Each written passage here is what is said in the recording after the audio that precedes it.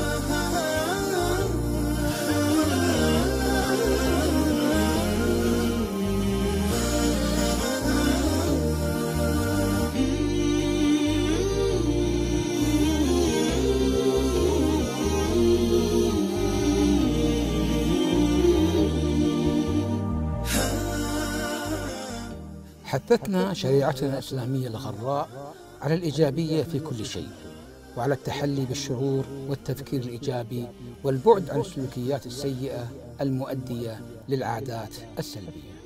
ولقد ذكرت الدراسات العلمية أنه يوجد أكثر من مئة عادة سلبية ممكن أن تعيق الإنسان عن التقدم في المجالات الدينية أو الاجتماعية أو الأسرية أو المالية أو العقلية أو الصحية النفسية والمهنية.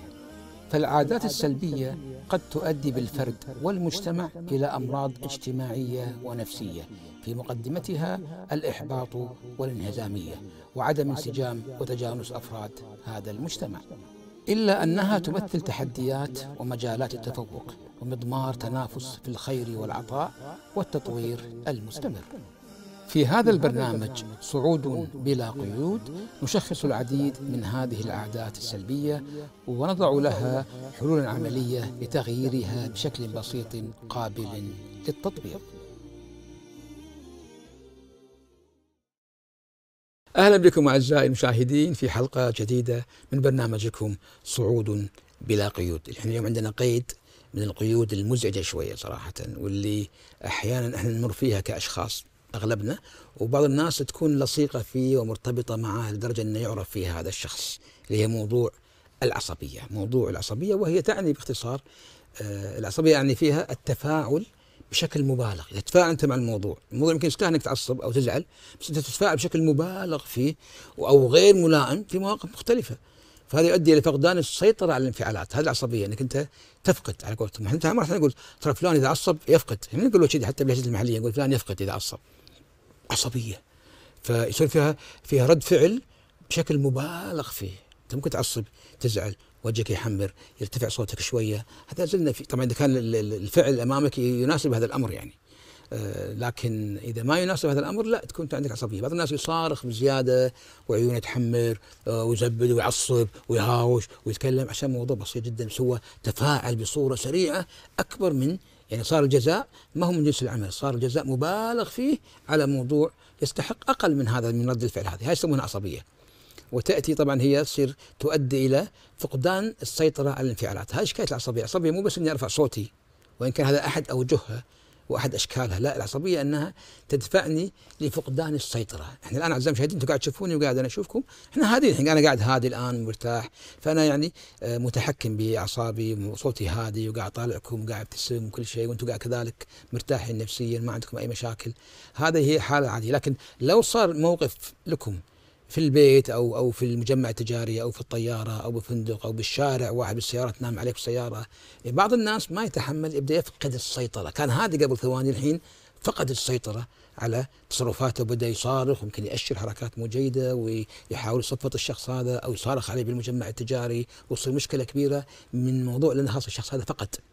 وبعض الناس يفقدون تمام السيطرة. يعني لا لا لفظا ولا حتى استخدام الأيدي والجوارح. فيقع في مشكلة قانونية ومشكلة أمنية أكبر من المشكلة اللي هو كان يتعامل معها. لأنه فقد السيطرة على انفعالاته وعلى تصرفاته بشكل يعني يكون غير ملائم. هذه هي العصبية. طبعا العصبية لها علاقة بالضغوط النفسية أحيانا تكون أنت متضايق من شغلة أو شيء. وهذا يمكن من أهم الأسباب اللي هي تكون أنت مثلا متضايق مثلا طالع من, من بيتكم بتروح الدوام. أو جاي من الدوام بهالجو الحر هذا ومتأخر على الغداء وجوعان والشارع زحمة. فأنت كل شوية يزيد عندك معدل دائما يقول لك سبحان الله الغضب يشبهونه بالبالونة أو تفاخية إنك تنفخ شوي شوي. فأنت الحين طلعت من من الدوام الدنيا حر فكأنك نفخت شوية في في عصبيتك شوي. بعدين طلعت في السياره ولا السيارة حارة ويا تحمل. فشوية طلع بعد جد شوية بعدين صعدت رحت الشارع العام ولا الطريق قدامك بحر من السيارات واقف. يبي لك مو أقل من ساعة بس عشان تفك الزحمة. أنت طالع مع الموظفين فينتفخ شوية أكثر أكثر البالونة هذه. بعدين اللي على يمينك يدش عليك وأنت قاعد تحاول تسكر عليه أو اللي وراك أو كذا أو بطيء اللي قدامك قاعد يلعب التليفون والشارع قاعد يمشي بس ما قاعد يمشي. فشوي شوي تنتفخ تصير هي كبيرة جدا. ممكن واحد ثاني ينام عليك تنفجر أنت عاد. هذا قصدي بالضغوط النفسية إن الإنسان يجمع الغضب شوي. لذلك من الحكمة أعزائي المشاهدين وأنتم أدرى بذلك إن الإنسان دائما ينفس غضبه.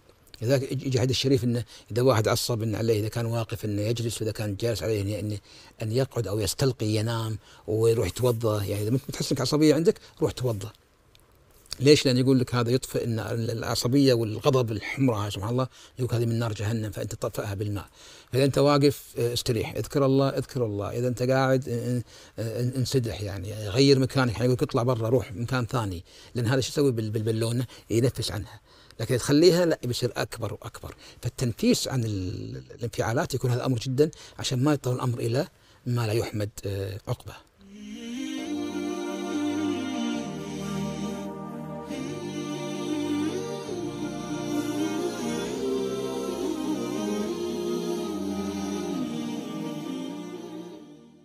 أهلا بكم أعزائي المشاهدين، موضوع العصبية لا زال معنا لأهميته والموضوع العصبية كما قلنا هو آه، فقدان السيطرة هاي تعريفه فقدان السيطرة على الانفعالات والسلوك بحيث يصير عندنا تصرفات غير ملائمة وغالبا الإنسان يندم عليها واحيانا سمح الله صلى الله يحفظنا جميعا أعزائي المشاهدين قد ينتج عنها أشياء قانونية قد يكون فيها اعتداء على أشخاص أو سمح الله وفاة أحد أو شيء من هذه العصبية ويصير صعب جدا الإنسان يعني يتراجع عن ما فعله لأنه خلاص صار فيها أزهق روح ولا صار مشكلة كبيرة هوشة ولا صار في اعتداء بالضرب أو شيء من من عصبية ولو بجيت بعد نص ساعة ساعة راح تشوفها إنه آه، هادي. العصبية حالة مؤقتة، في بعض الأشخاص يدرك هذا الأمر فيمسك نفسه، إحنا بشر يا جماعة وتفاعلنا مع العصبية يكون آه، مختلف، بعض الناس يكون هادي جدا. آه، الله معطيه هدوء في موضوع العصبية هذا فما يعصب. يمكن يزعل شوية ويتضايق شوية ويتكلم بحدة شوية لكن ما يفقد سيطرته على أعصابه وعلى كلامه وعلى ألفاظه وعلى جوارحه ويضرب ويهاوش ويغلط على الناس. لا هو متحكم. في ناس لا. النقيض وهذا اللي أتكلم عنه اللي هو اللي يبالغ خاصة إذا كان الفعل ما يستحق يعني. لذلك الرسول صلى الله عليه وآله ما عنده هذا الموضوع إلا لما تنتهك حرمات الله. يعني يقول الرسول ما غضب في حياته يضغط إلا لما تنتهك حرمات الله. لما يصير الشيء مخالف للدين عندها يقول يعني يحمر وجهه. ليش؟ لأنه انتهكت حرمات الدين. ظلم شيء ظلم إنسان أو صار مشكلة في أم في أمر ديني معين عندها الرسول صلى الله عليه وآله لا يعني يغضب لأن هذا أمر الدين لكن مش حظ النفس. آه في ناس لا والله كباريت على قولتهم يعني كبريت من من أي أدنى الدون لو تقول له وخر شوي بالديوانيه عصب عليك. ناس شخصيات سبحان الله. هذه العصبية هي التي إحنا نتكلم عنها ولا واحد يحاول ان ما يكون عنده آه، يعني ضغوط نفسية كثيرة، دائما يا جماعة نفس من هذه الضغوط، والله خاصة لأولياء الأمور. يعني كما تقول الدراسات مو بالكويت على مستوى العالم ان أغلب آه، حالات الطلاق اللي صارت هي من من الغضب وليس من من الفعل نفسه. يعني ما صار فعل يستحق عليه الطلاق وانفصال الزوجين إنما هو غضب.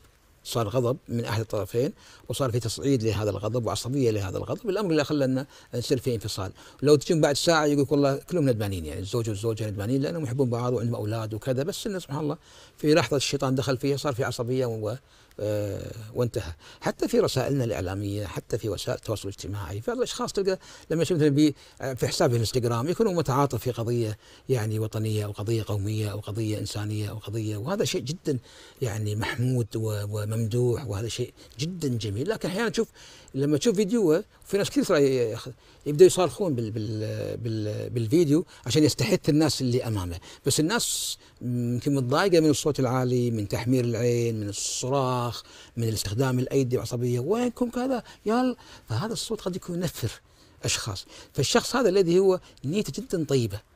ونيته انه يخدم قضية عادلة وبيحاول يوصل رسالة. يظن أنها توصل للناس. قد لا يدرك أن هذه الرسالة يمكن لأن الناس يشوفون الصراخ هذا والعصبية يمكن يتضايقون من الصوت العالي أو من منظر العصبية بشكل عام فيمكن يغير القناة بسهولة يعني أو أو يطوف هذا الفيديو. فالإنسان ينتبه لأنه حتى في أولادنا لما نكلم أولادنا ونكلم الخدم لما نكلم زملاء العمل الواحد ما يصارخ. في أحيان مراجعين يصرخون على على الموظفين يعني. والموضوع ما يستاهل. لما يقول تعال شو السالفة؟ يقول يا أخي أخرني. إيه بس ما غلط عليه ما صارخ عليه. هذه موظفة يعني ما يصير وهذا رجل قاعد موظف. أو العكس يعني يصير في خطأ من من فتتكلم أنت عن موضوع العصبية اللي هو فقدان السيطرة. فالإنسان ينتبه ان إن يعني ينفس من من من هذا الأمر وإذا حس إنه بدأ يعصب والناس أدرى بأنفسها يبدأ يوخر ينسحب أو يهدى شوية أو يذكر الله زين أستغفر الله لا إله إلا الله يتحرك شوية يروح يغسل وجهه يغير المكان اللي هو فيه يغير السالفة يطلع من المكان هذا أفضل. وإذا في ناس عنده حولة عقلاء ممكن ياخذونه يسحبونه عشان ما يتفاقم الأمر لأن الناس بعد فقدان السيطرة والتغييب هذا والفقدان الوعي آه، يبدأ يصدر منه إشارات قوية جدا وحركات وكلمات وأفعال قد تؤدي إلى مشاكل كما ذكرت قانونية وبالتالي يقع في شر أعماله وبعدين يندم وندم يكون قد آه، يعني فات. نشوفكم إن شاء الله في الحلقة القادمة ومع السلامة.